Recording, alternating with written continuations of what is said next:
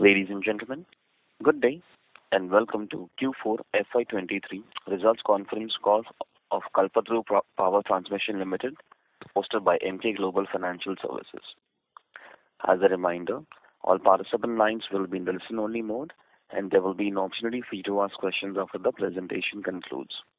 Should you need assistance during this conference call, please signal an operator by pressing star and zero on your touchtone phone. Please note that this conference is being recorded. I now hand the conference over to Mr. Vineet Anand from Emkay Global Financial Services. Thank you, and over to you, Mr. Anand. Thanks, Nirav. Good morning, everyone. I'm Vineet Anand from Emkay Global Financial Services. First of all, I'd like to thank the management for giving us this opportunity to host the call. I'll hand over the call to Mr. Vishesh Pachnanda, VP and Head, Investor Relations. Over to you, Vishesh. Thanks, Vineet. Thank you for hosting the call today for us. A very good morning to all the participants. This is Vishesh Pachnanda. I'm pleased to welcome you to Kalpataru Power Transmission Limited earnings call for the fourth quarter and the full year ended 31st March 2023. We have with us today the management team, represented by Mr. Manish Mohnot, the Managing Director and CEO, Mr. S.K. Tripathi, Deputy Managing Director, Mr. Amit Uplenchwar, Director Group Strategy, and Mr. Ram Patodia, CFO and President Finance. We'll start with a few minutes of opening remarks by Mr. Manish, and then we can open the floor for Q&A. With that, and without any further delay, over to you, Manish, sir. Thank you very much. Thank you, Vishesh. Uh, good morning, everyone. Thank you for joining us on the call today. As always, it is a pleasure to interact with all of you. Let me begin with our full year performance in detail, highlighting progress on our strategic priorities and then outlook for the financial year 2024. Before I start, let me put forth that with the completion of the merger and the appointed date being 1st April 2022, our standalone results represent the combined standalone financials of erstwhile JMC and KPTL. The performance for FY 2023 has been remarkable for the combined entity as we continue to accelerate profitable growth and build on our position as a leading player in the global EPC market. We have recorded noteworthy performance on many fronts, which includes robust top-line growth, remarkable and strategic order wins, stable profitability, and notable management of working capital and debt levels. Our strong diversified order book and favorable business outlook across all our verticals provides us with a huge runway to growth in the next couple of years. Having said that, we will continue to focus on accelerating growth while improving profitability and upholding the strength of a strong balance sheet. The financial year 2023 has been a landmark year for KPTL as we have completed the merger of JMC with KPTL. The merger reinforces our market position in high-growth EPC business verticals and places us favorably to leverage on the global push for infrastructure development and fast-paced adoption of clean and green energy. During the last few months, the benefits of the merger have already started to kick in in some form or other. We've improved our ticket size of order wins, particularly in the civil business, as we have secured numerous high-value orders in water, B&F, and urban infra business. We continue to gain traction in expanding our civil business in both domestic and international markets as we have added new clients and improved our global reach. Additionally, on the finance cost front, we are already working with our lenders to provide parity in terms of finance costs between erstwhile JMC and KPTL. We are already seeing positive momentum on that front. We have also internally realigned our operating structure to improve efficiency and reduce costs. The benefits of all these actions will increasingly improve our performance in the coming quarters. Coming now on the performance front, our consolidated revenue grew by 11% to reach rupees 16,361 crores, and standalone business grew by 16% YOY for the full year 2023 on the back of robust execution. Our consolidated EBITDA margin is at 9.1%, and the standalone EBITDA margin at 8.9% for financial 2023. This EBITDA margin includes an amount of 109 crores shown as exceptional item in published results, with respect of an award obtained by an erstwhile power transmission subsidiary and is contractually received by the company. With improved execution of profitable projects, productivity improvement initiatives, and merger-related benefits, we expect margin performance to improve going forward.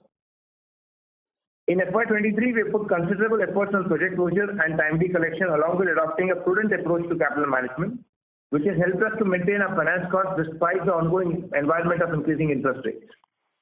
Our finance cost as a percentage of sales has remained at around 2% at the standalone level, which is nearly similar to the year financial year 2022. We are confident to maintain finance cost as a percentage of sales around 2% for FY 2024 also. Our net debt at the standalone level has declined by 373 crores QOQ to rupees 1,680 crores at the end of March 2023. While the net debt excluding non-core business stands at rupees 1,800 crores at the end of March 2023. Our net working capital days are below 100 days at the end of March 2023 for the combined entity. During FY 2023, we have invested close to rupees 500 crores for CapEx for improving project delivery and achieving our growth targets in FY 2024 and 2025. We expect CapEx in the range of 250 to 275 crores in FY 2024. Our standalone PBT after exceptional items uh, grew by 48% YOY to rupees 738 crores for FY23 with a margin of 5.1%. Similarly, PAT rose by 52% YOY to rupees 531 crores for standalone business. At the consolidated level, the reported PAT was rupees 435 crores for financial year 2023. Our order book, including LMG Sweden and Fasttel Brazil, was at rupees 45,918 crores as on March 23. Additionally, we have an L1 position of around 4,000 crores.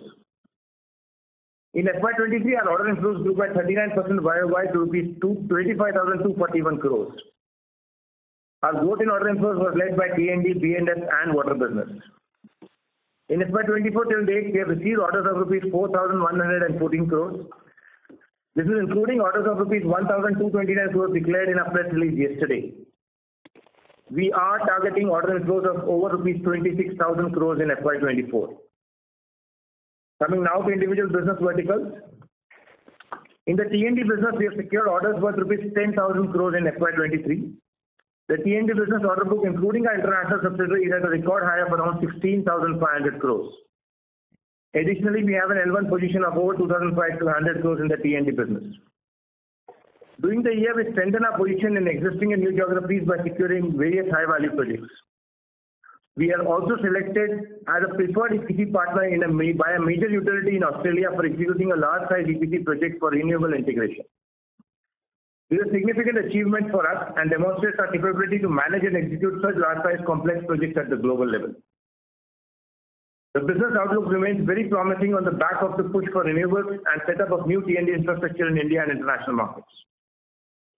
We have a huge tender pipeline of over 50,000 crores in the next 20 to 24 months for the T&D business. In the international market, we have robust visibility with tender pipeline over USD 4 billion, especially in focus markets in Africa, Latin America, Asia and Middle East. In Fasttel Brazil, we are focused on project closure and strengthening our organization in FY 2023.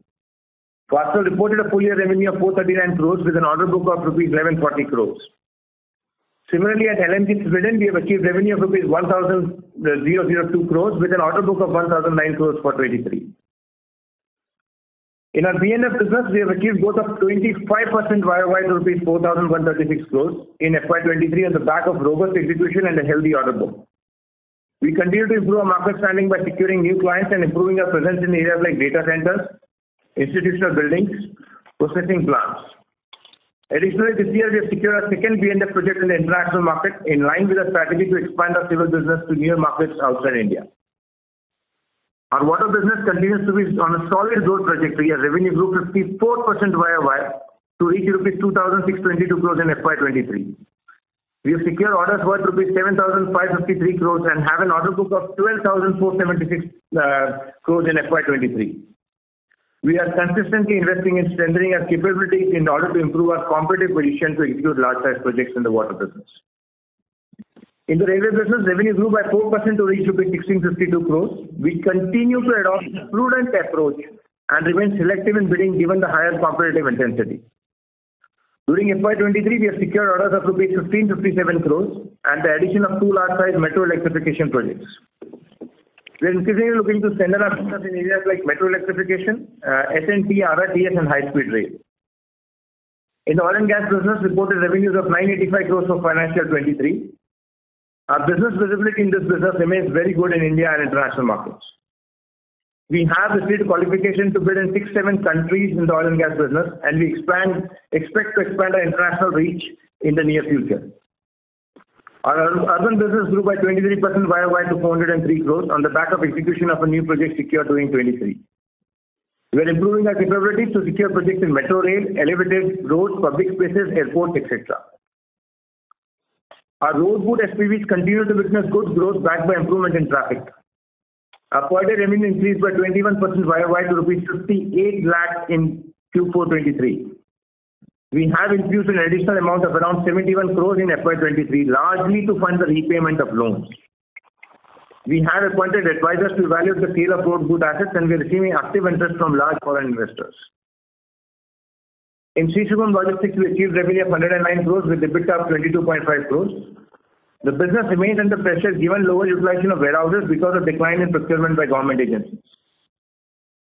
During FY 2023, we have collected around 70 crores from the sale of Indore real estate. We aim to complete the sale of the balance inventory by calendar year 2024. The board is mindful of the importance of returns to shareholders, and as a result of the strong performance and ongoing confidence in the strategy, it is pleased to recommend a dividend of rupees 7 per share. Now, moving to the outlook of financial 2024. I want to mention here that our business today has never been so strong in terms of size, scale, capabilities, diversified business mix, and financial profile. In this context, we will continue to manage our business with agility and focus on consistent and profitable growth, and reach to pre-COVID level of profitability from a midterm perspective. Additionally, our focus remains on the speedy resolution of non-core assets. We expect standalone revenue growth in excess of 30% for financial 2024, and PBT margin in the range of 4.5%-5%. We expect finance cost as a percentage of sales to be in the range of 2%. We are targeting to achieve growth in the range of 18%-20% for FY 2024. Our tender activity across all our business remains favorable and provides a huge runway for growth. We expect order inflows, including our Sweden and Brazil subsidiaries, to be at around 26,000 crore for financial 2024. However, we remain watchful for various uncertainties related to geopolitics, inflation, commodity and currency volatility, and are accordingly navigating them through strengthening our risk management and building a diversified business and improving our execution capabilities. With this, I would request the moderator to open the line for Q&A. Thank you. Thank you very much. We will now begin the question and answer session. Anyone who wishes to ask a question may press star and one on their touchtone telephone. If you wish to remove yourself from the question queue, you may press star and two. Participants are requested to use handsets while asking a question. Ladies and gentlemen, we will wait for a moment while the question queue assembles. Participants, you may press star and one to ask a question. The first question is from the line of Renu Baid from IIFL Securities. Please go ahead. Yeah. Hi, uh, good morning, sir. Uh, my first question is on um, the synergy benefits. Um, if you can help us uh, understand what kind of operating level benefits are we expecting, and by when should we start accruing the benefits to the full? Uh, aligned with this, uh, what are the timelines and progress in terms of divestment of uh, the road BOOT assets and other non-core assets uh, for um, the portfolio overall now? That's the first question. Good morning, Renu. Morning.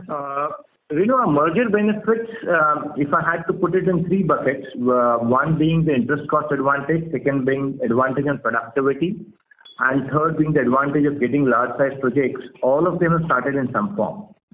On the interest cost, uh, uh, you know, uh, the difference between KPTL and JMC in terms of the rates was closer to 200 basis points. Majority of the bankers have now agreed to get the erstwhile JMC limits to the KPTL cost of interest, and a lot of them would happen starting from Q1 itself. Some have happened in Q4, but, you know, the new, the filing for the new rates and the new limits, so we expect a lot of it to happen from Q1. So on that ground, we expect, uh, you know, as a merged entity, at least 60 crore-70 crore coming in as gains, uh, getting into the next year itself.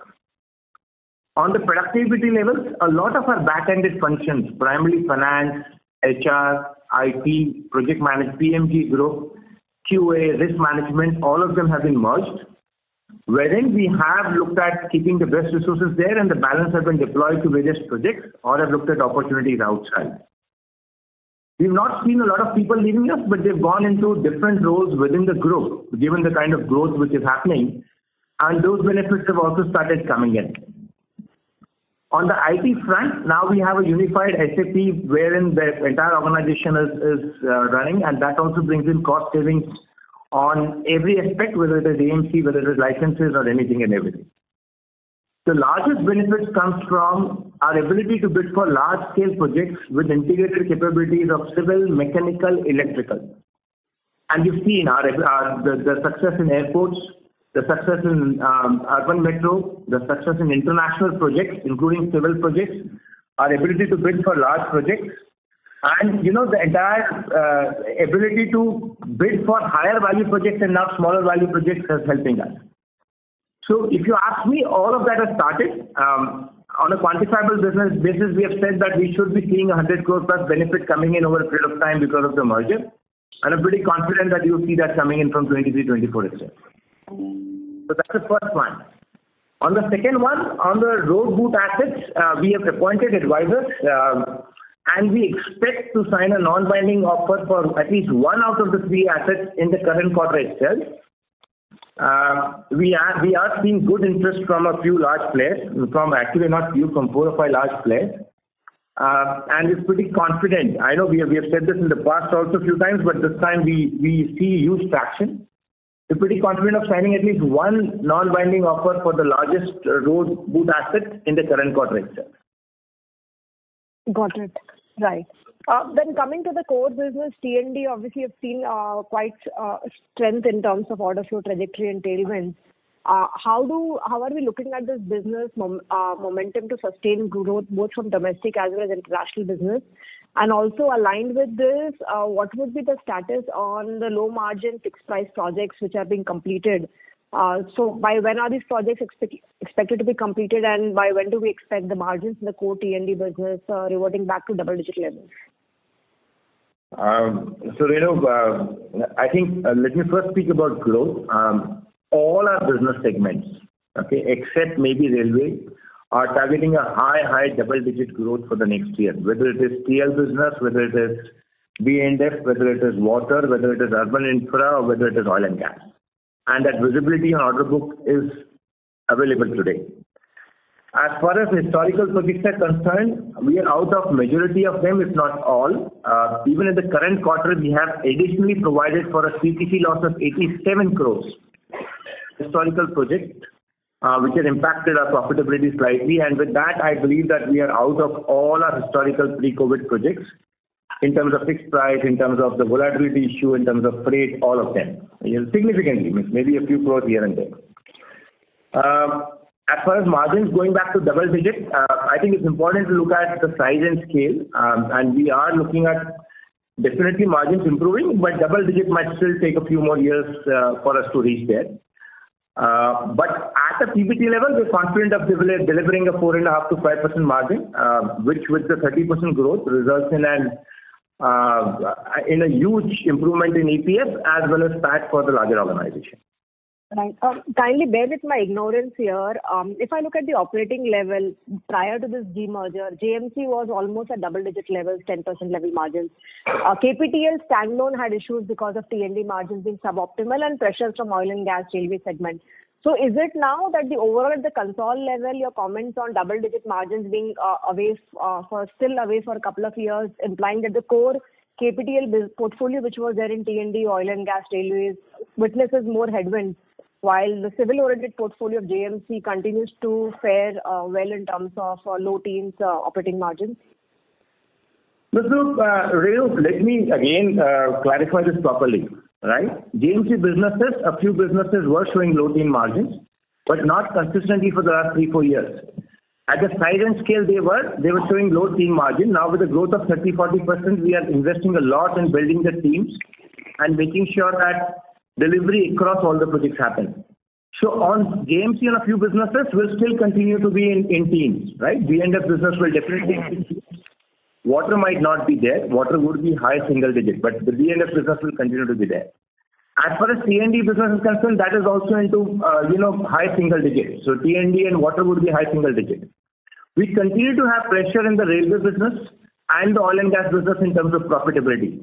And that is where our margins on an average basis get to that those levels which are single digit and not at double digits. Uh, rail and? Railway and oil and gas. Got it. Um, thanks much, sir, for this. All the best. I'll get back with more questions later in the queue. Thank you and all the best. Yeah. Thank you. Next question is from the line of Mohit Kumar from ICICI Securities. Please go ahead. Hi. Uh, good morning, sir. Uh, Sir, can you please give us some more color on the international T&D order book and what, uh, how much is the international T&D order book as of current order book? And how do you see, you know, uh, in FY 2024 the order outlook? Sure. Uh, Mohit, on our international business on the transmission side, our order book visibility as of 31st March, orders in hand is in excess of 11,000 crores. Besides that, we are L1 in orders of around 2,500 crores uh, as we speak about. So in totality, the visibility today is around 13,500+ crores as far as the TLI business uh, goes, which includes Linjemontage and Fasttel. If I remove Linjemontage and Fasttel, which is approximately 1,800 crores, uh, the India international TL business, I repeat TL, not necessarily the international overall portfolio, is around 11,800 crores.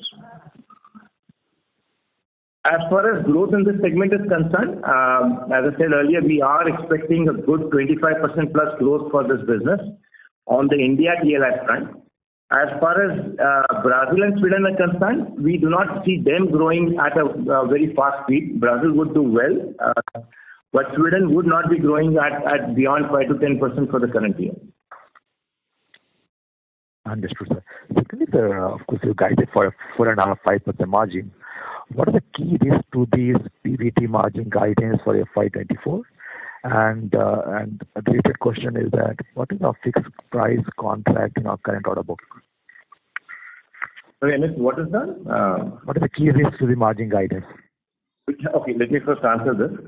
Uh, see, uh, today where we are, all our businesses have a visible order book. There's literally very minimal amount of book and build which have been considered in the targets of 30%+ plus growth. So on the revenue front, uh, we don't see any challenges unless there are any geopolitical issues which are completely beyond us. The existing geopolitical issues on places like Afghanistan, Myanmar, and a few other countries have already been removed from the order book. So the order book has been adjusted to that extent of those projects, which includes Afghanistan, Myanmar, Ukraine, and that's not a part of our order book. So from a revenue perspective, we see minimal challenges in achieving the 30% growth on an annualized basis. On a margin perspective, a lot of our historical projects are already uh, completed, and we have delivered on it. And today, with low volatility in all segments of uh, whether it is commodities, whether it is FX, whether it is freight, and with a consistent team which stays with us, uh, we don't see much challenges on achieving the 4.5%-5% of PBT. So as we stand today, I don't think uh, that should be a challenge in any form, um, unless there are geopolitical issues at uh, India as well as global levels, which are beyond our, uh, you know, beyond our vision as of today. Understood, sir. Thank you and all the best, sir. Thank you. Thank you. The next question is from the line of Charanjit Singh from DSP Mutual Fund. Please go ahead. Hello, sir. Am I audible? Morning, Charanjit. Yeah, yeah. Very good. Good morning. Good morning. So thanks for the opportunity. So my first question is, sir, if you look at the order backlog now, water as a segment has become large for us at around 12,000 crores.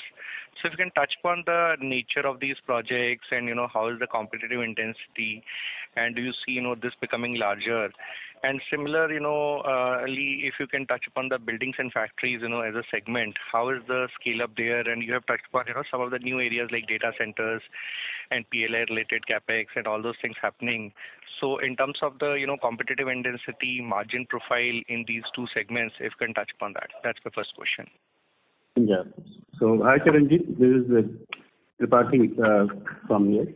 As far as the water business is concerned, uh, you are right, it is currently have a higher order book.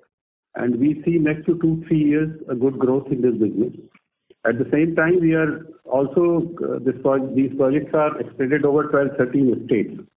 So going forward, from here onward, we will be balancing the act in terms of the spreading the business size, because the delivery also uh, is Uh, gathering the requirement uh, going forward, these projects to be delivered properly, right?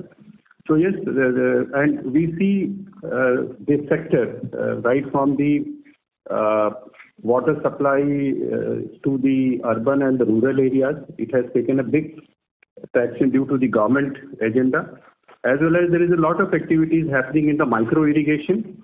Those projects are also part of the water division. So overall, uh, we can see next two to three years, there will be good run on the water side. Coming to the B&F, uh, I think this is a stable business in the current environment when the uh, whole sentiment and the real estate sector has revived. We will continue to see this momentum to go on. And based on that, we have also tried to trying to diversify into some more sectors of B&F. Like airport, we already diversified, and the data center is the next thing we are looking. Uh, As far as the margin profile of B&F is concerned, our core business of core shell and the uh, in the civil building, there the margins, because of the price rise of the commodities in general, margins will be under pressure. We are not going to see a huge uptick in the B&F margin. But the new sectors will have a better margin profile because due to the lesser competition in those sectors, particularly the data center and the airport. But those businesses are yet to be built, right? So we have just laid the foundation of airport, and based on that, we will go going ahead. Got it, sir.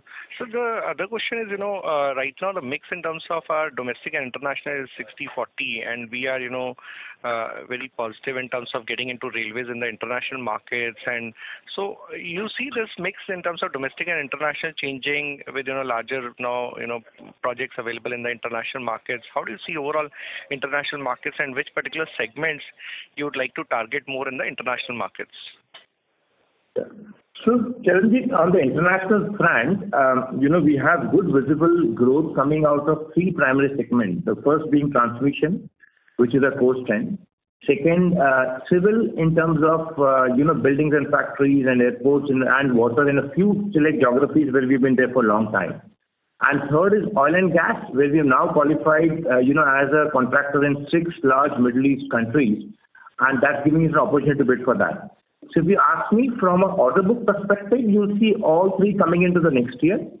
As far as railways and and a few other divisions are concerned, we we have started that process, but will it will it convert to a huge order book in the current year? Might not happen.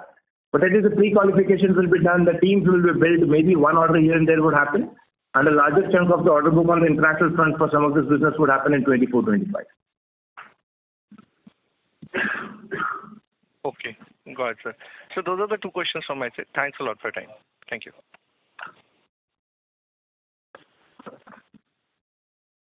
Thank you. Next question is from the line of Parikshit Kandpal from HDFC Securities. Please go ahead. Yeah, sir. Hi. Manish, congratulations on a good quarter. Good morning, Parikshit. Yeah. Good morning. Yeah, so my first question is, uh, sorry, I missed uh, the early part of the call. Uh, why was the margins in this quarter lower than, like, quarter-on-quarter, the margin has declined a bit, the margin? Any specific reason, any legacy project?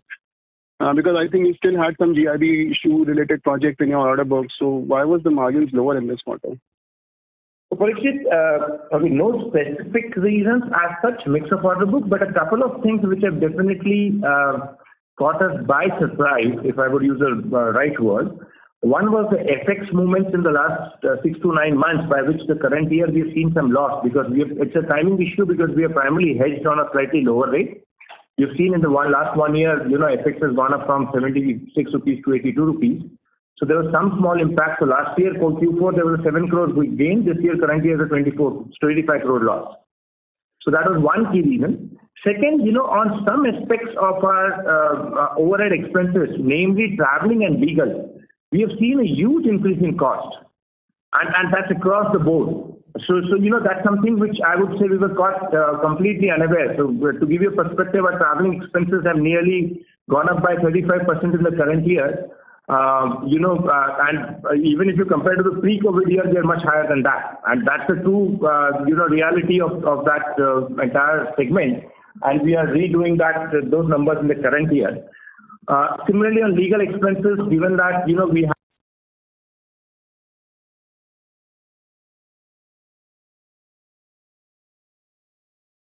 have It's important for for everyone to understand that we are different in terms of having a balance sheet strength on debt, our ability to manage working capital and our huge growth visibility.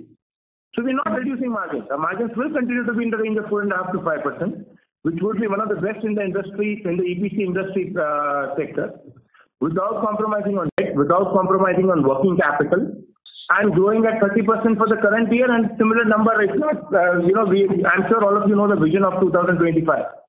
25,000 crore by 2025 is a vision which means a high double-digit growth even for next year. So our focus is a lot more on growth. So if you go back to our numbers of growth, we were at 12% levels five years ago. We have come to 16 to 18%. Our target is to take it to 18 to 20% in the current year and beyond 20% next year. Mm. The entire focus is profit continues, profitable growth continues. So just so that we're clear on that. To answer your question on on where are we investing, uh, I think SKT mentioned earlier some segments like airports, data centers and civil international, including civil oil and gas might be sectors that we might be average in terms of margins. Not not very very bad, but not as good as, let's say, the existing business of transmission, B&F and water. Mm. On overall basis, we still believe that 4.5%-5% is easily achievable as far as uh, the current order book and the current year is concerned.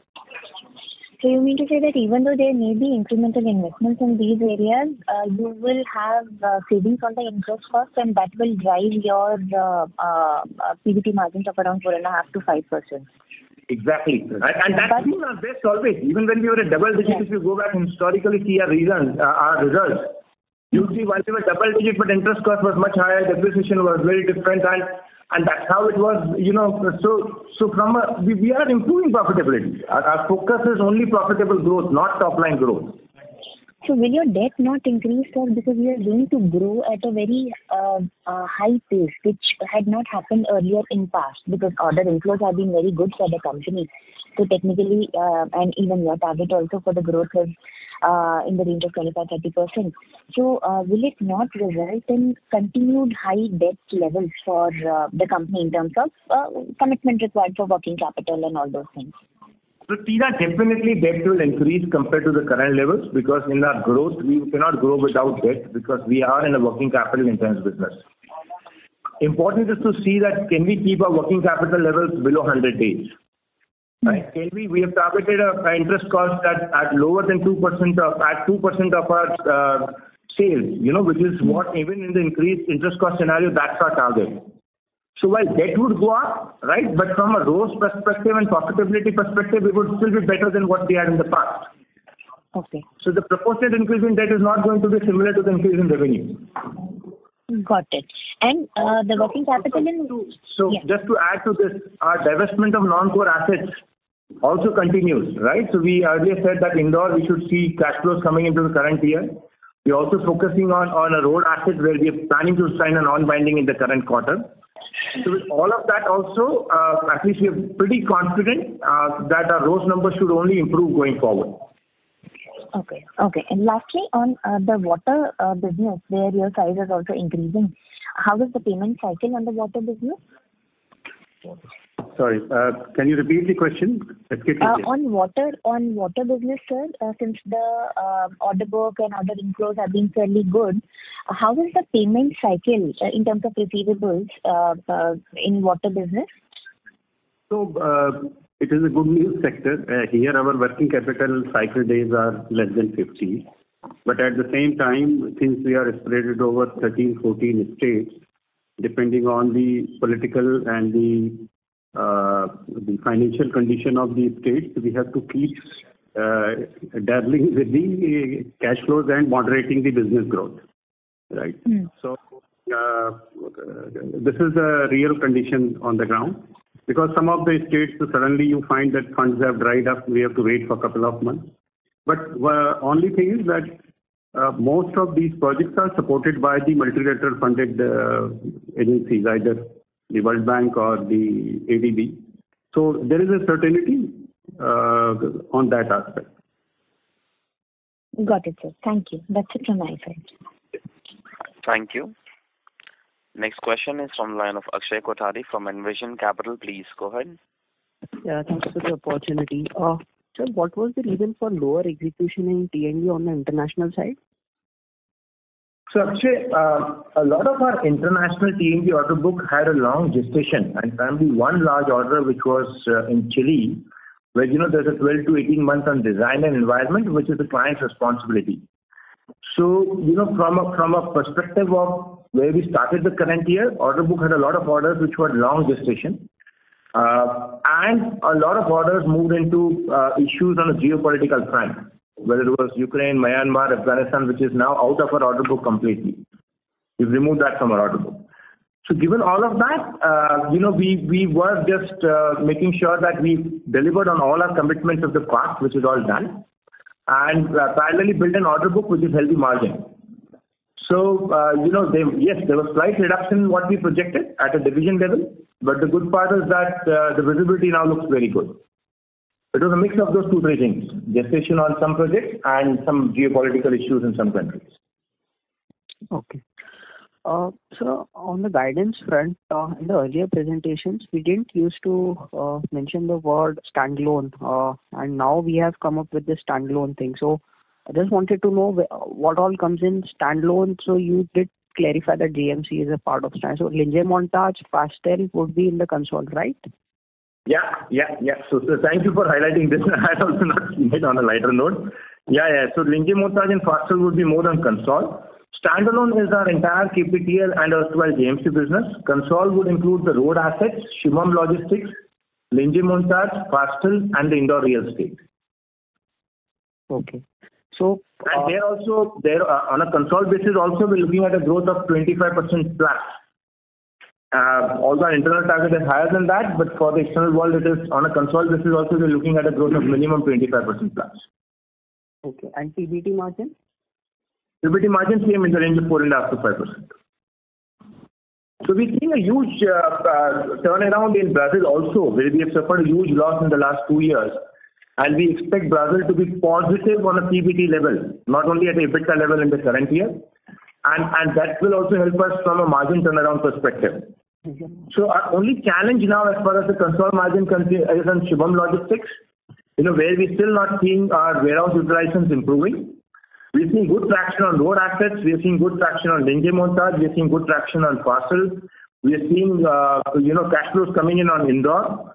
Our only challenge continues to be Shubham Logistics, uh, where we believe we might still have a year of challenges because warehouses are Uh, not utilized even to the breakeven level. It's good at a EBITDA level, but PBT level, we have challenges on Shubham Logistics. So this Vision 2025, uh, which is mentioned, it is CY 2025 or FY 2025? It is FY 2025. Yes, 2025, next year, 2024, 2025. FY 2024, 2025. Yeah. Okay. Okay. Uh, so lastly, uh, long-term borrowings have uh, decreased and short-term borrowings have increased. So what is the reason for that? No, I don't think there would be any specific reason except for maybe the interest cost as well as availability of you know long-term loans at a given point of time. It's not strategic as much as it's about opportunity of having lower interest cost, one. Second, it's also driven by our visibility on cash flows for the near future. You know, so if you see Q4, our cash flows were very, very good, right? And if you see your visibility of cash flows to be very good in the near future, you typically love to keep short term. But getting into the next year, we should be again taking some long-term loans once interest rates stabilize at a particular level. Okay. And, uh, our other intangible uh, assets have decreased and asset held for sale have increased. Uh, so what was the reason for that? So I think other intangible assets primarily have some write-offs coming on, uh, on a few of our investments. Uh, you know, so Shubham Logistics was one of them, as well as, uh, you know, the losses on Brazil. Um, as far as asset held for sale, I think we have classified one of the road assets as asset held for sale, because we believe that we will be getting a non-binding offer very, very soon. It might not even go beyond this month. And uh, we already are in active touch with it. Yesterday, we have got in principle approval from the senior management also. So that's why it's kept for asset held for sale. And I'm pretty confident of signing that uh, in this month itself, not even June. And there is also a liability associated with asset held for sale. So net off, there has been no movement. So uh, what is that liability? It would be the loans on that, you know, that portfolio. It's a similar thing, but I'll have to see those details and come back to you. Okay. Thanks a lot, and I'll get back in the queue. Thank you. Next question is from the line of Bharat Sheth from Quest Investment Advisors. Please go ahead. Hi. Good morning, Manish Ji and Tripathi Ji, and congratulations on good set of numbers. Good morning, Bharat. Good morning, Good morning, Bharat. Sir, my first question is, we since uh, last one or two years, we have been expanding our geographical as well as uh, within that geography vertical also we are expanding. New vertical we are building. So in order, I mean, in medium-term perspective, what are exactly that no each uh, geography has uh, some kind of, I mean, uh, geopolitical or surprises or. So what is our risk management uh, capability that we are building from medium-term perspective, so this kind of a surprise should not really affect us? and Bharat, uh, I think a very important question for us. Uh, you know, this entire last four years, whether it started from COVID, then it started from the war, a lot of learnings for us. Um, I think. Hello? Yeah, yeah. I think the good part is historically we've been following this consistent policy of taking ECGC across all our projects. And that's why even if when you look at Afghanistan, you know, more than 80% of our dues have come from ECGC. So we will continue to make sure that at least on a global front, uh, we will take ECGC on all projects. Uh, you know, where at least uh, in those countries where you believe that even there's a 1% risk. So that's one thing which we are very focused on. Second, we are slowly over the last three years, if you look at our portfolio, we moved to a lot of developed countries, right? So look at Chile, look at Australia, look at our expansion in LATAM. Look at what we are doing in few of our geographies in neighboring countries which are which are funded by EXIM. So our focus is, uh, compared to what we were four years ago, our focus is to move to a lot more developed economies, which one has limited competition, where delivery is the key uh, requirement. And you know, while you can get in there as a small player and then eventually grow to be a large player. So that's been our second focus. Third, on a on a risk management perspective, we further strengthen our our risk management uh, committee, both at a at a business unit level, at a SBG level, which is strategic business group level, as well as at the company level, where we look at a lot of this very, very closely. I would be happy to sometimes discuss with you about how our risk profile in the last three years. You know, three years ago, majority of our exposure were in countries which were more in the category of B and C. But today, more than 50% of our exposure in countries which are more in the category of A and B from a ECGC rating perspective. Okay. So, so That's also helped us. So gradually, we've obviously learned from the last three, four years, and we're making sure that as much as we can, we cover through prudent risk management policies. The one more aspect uh, is our breakup of fixed and variable order book. So, if you look at today, our variable order book is closer to 65% of our total order book size. At some at actually more than 65%. Uh, I think someone, uh, Ram, has corrected me for that. Uh, but but that's what is gradually growing. So, as long as we get into that variable order book a lot more, at least we do not lose on a lot of surprises. We might not gain on surprises because that's not our core business, but we do not lose on surprises. So it's been a mix of new countries, variable to fixed, uh, strengthening our risk management across the geographies and continuing taking insurance for majority of the countries, if not all. Okay, great. Sir, that is largely, say, on the external side that we are working. But internal, like execution, in this developed country, I mean, timeline, timeliness is a very important. So execution uh, perspective, how we are building those capabilities so that we internally should not default over there. So, uh, Bharat, uh, you know, important for, and then, you know, you've been associated for the company for long, to understand that we're going international only in businesses which have grown in India for at least five to seven years. So if you look at our, our approach, it's been that, you know, we, we, we were doing only transmission international till three years ago. Okay. Last five to seven years, we built huge capabilities on buildings and factories and civil. We went international on that just one year ago. Oil and gas, we built huge capabilities in India over the last 10 years. We're going international now. So we are also cautious on the fact that not to go international unless we have a strong team on all aspects, whether it is tendering, whether it is execution, whether it is project management, and whether it is the commercial side of it. So we are not going international any business which is new in nature, right? So if you look at our international growth, it's been only in sectors where we have a strong team in India, on the basis of which we build a strong international team, on the basis of which we have built over a period of time, and done one order, delivered, and then grown it further. One. Second, we've also not grown very fast on new businesses. So if you see, even in transmission international, if you go back to history 10 years ago, you know, would take three, four orders, deliver, and then go to the next three orders.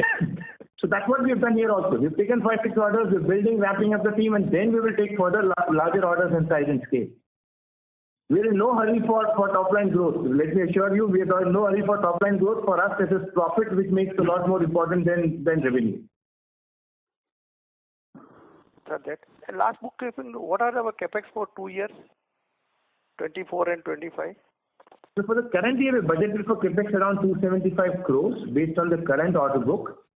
Uh, if we win any large orders in urban infra or international oil and gas, we might revise this uh, capex upwards. But otherwise, we believe uh, on an annualized basis, we should be okay with 275 to 300 crores for this year and next year. Okay. All the best, sir. Thank you very much. Thank you, Dr. Thank you. A reminder to all the participants, you may press star and one to ask a question. Next question is from the line of Ashwani Sharma from ICICI Securities. Please go ahead. Yeah, uh, good morning. Thanks for the opportunity. So my first question is on the debt. Uh, so you did alluded on the fact that there'll be increase in the debt going ahead as the uh, order book has, you know, gone up. But in case, if you can just put some numbers, how do you see, you know, debt uh, shaping up in FY 24 and 25? And related question is this that you did mention on the, you know, interest cost saving because of the merger. Here also, if you can put some number, how what kind of savings do you see because of the merger? Sure. So, um, on a on a uh, standalone basis, our net debt levels are around 1,700 crores while we speak on 31st March.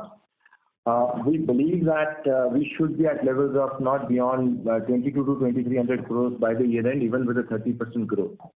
So that's on a on a net debt basis. As far as interest cost is concerned, even in the rising interest cost scenario, we're still targeting our interest cost as a percentage to be sales to be below 2%, right? And that's where we have inbuilt all the savings coming from uh, the the JMC merger, all the savings coming from, uh, you know, our effective working capital management, and also increased advances, which we were not taking at some point of time, given the huge difference in the interest rate on advances versus versus the banking interest rates.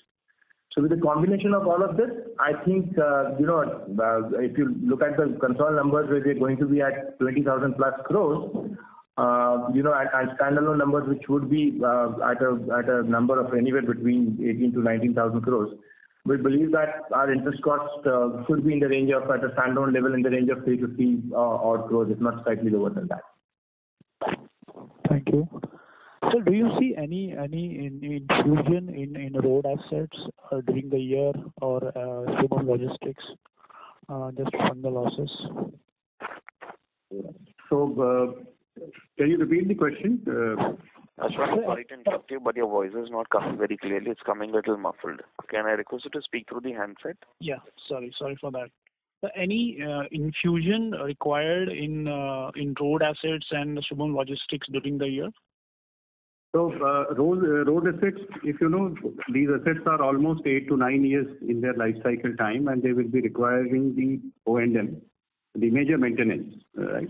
So, we will be requiring to infuse about 50 to 60 crores towards that account. If you look at two SPVs, even at the PBT level, they are breakeven.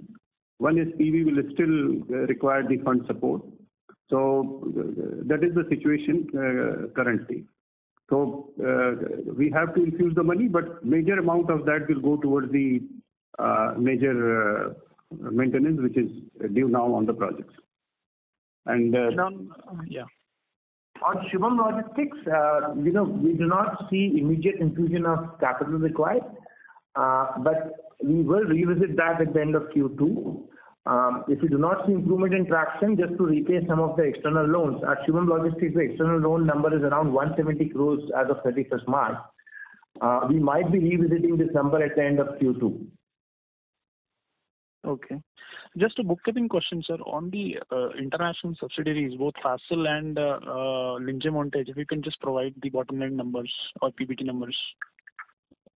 So as far as uh, on annualized basis, uh, Linjemontage Montage had a profit of approximately 44 crore uh, at a KPIT Sweden level. And as far as Fasttel is concerned, we had a loss of last quarter, I remember, around 56 crores. Yeah, Kalpataru Brazil is a loss of 56 crores and KPIT Sweden has a profit of 44 crores on annualized basis. Uh, the revenue number was 1,002 crores and with a profit at 44 crores. As far as Brazil is concerned, revenue of 439 crores with a loss of 56 crores. Yeah. Sir, last question from my side. Uh, the NWC number, which is 100, is what you're saying. Uh, can is it possible to give us the breakup between T&D business and the other civil and DRM business? I might not have that breakup immediately. It might help if you can just connect with the team, you know, any of them, Vishesh, Kunal, and they'll be happy to provide you those details. Sure, sir. Thanks. Thanks. Thank you.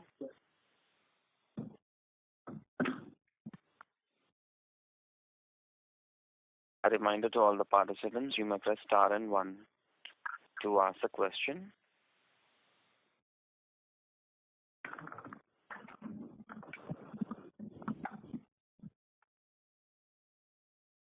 The next question is from the line of Amin from State Bank of India. Please go ahead.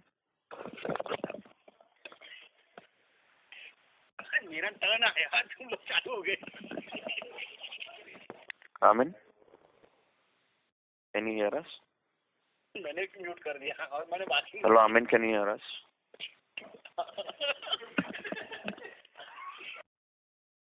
Due to no response, we move on to the next participant. The next question is from the line of Parikshit Kandpal from HDFC. Please go ahead. Sorry, sir, I got dropped out earlier. My question is on the uh, promoter shareholding. So after the merger, we have seen in this quarter, the promoter shareholding has come down to 47% because of the merger. And uh, given the bad press which we recently had on the group, do you think now when we have uh, come below the psychological level of 50%, can promoter of offload some more shares in the market and this holding go towards more 40%? Or will it going uh, will go above 50%? So what's your view there? So Parikshit, uh, we uh, we do not have any specific view on this question. You know, we have not had any discussion with promoters on this aspect. Our only discussion with them was on the pledge component, and where they told us that pledge will continuously reduce only. Um, uh, they have a plan going forward, but you'll see the pledge reducing uh, going on quarter-on-quarter. As far as the promoter holding is concerned, we've not had any specific discussion with the promoter on this aspect. Okay. My second question on the road monetization. So you said that one asset will get monetized. So likely, what could be the potential, the deal value, or you can also give some sense on what is the total equity investment in that asset? Whether we'll be able to recover a large part of it, or there could be potentially a write-off. So if you could give some sense on that.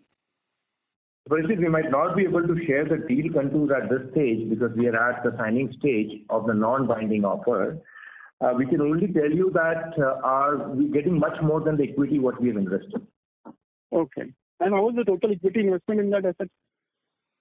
No, I'll not be able to give you those controls right now, as I said earlier. But uh, you know, uh, just just uh keep patient for the next two, three, four weeks, and and we might be able to share those details uh, once we sign the non-binding offer. Okay. Okay, sir. Thank you, and wish you all the best. Thank you very much. Ladies and gentlemen, we'll take that as the last question. On behalf of Kalpataru Power Transmission Limited and Emkay Global Financial Services, we thank all the participants. You may now disconnect your lines. Thank you. Thank you. Thank you. Hmm?